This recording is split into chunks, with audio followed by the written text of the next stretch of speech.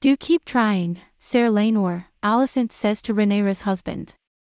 Sooner or later you might get one that looks like you. Cast changes are sometimes necessary, but was it really needed in HBO's House of the Dragon? The sequel to Game of Thrones, House of the Dragon, has proved to be a stellar fantasy epic so far.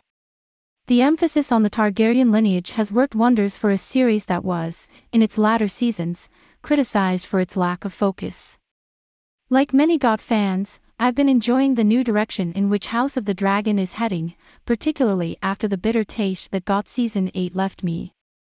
However, it's not all smooth sailing for the Targaryens. Episode 6 marked a clear before and after for the show one that could spell trouble for the series in the long run. Remember Jaqen H'ghar. The faceless men could alter their entire physical appearance to deceive their targets. Unfortunately for Hollywood execs, no actor has been able to do this, yet.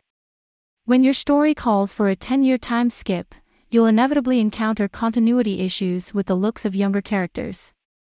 The Rhaenyra Targaryen and Alicent Hightower House of the Dragon cast change might have sounded like a harmless idea, but never underestimate the power of fans' attachment, especially when Milly Alcock and Emily Carey were delivering such outstanding performances.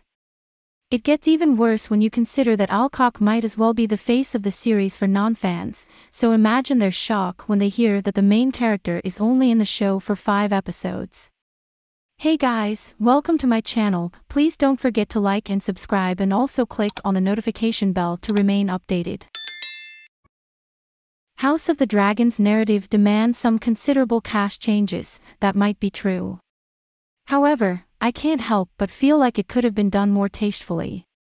Unlike Game of Thrones' focus on multiple houses, House Targaryen is undoubtedly the star of the show in House of the Dragon. Seeing the actors age in their roles and live through the traumatic experiences that lead to the fall of one of the most powerful houses in all of Westeros makes for outstanding entertainment, but it also takes a toll on the actors.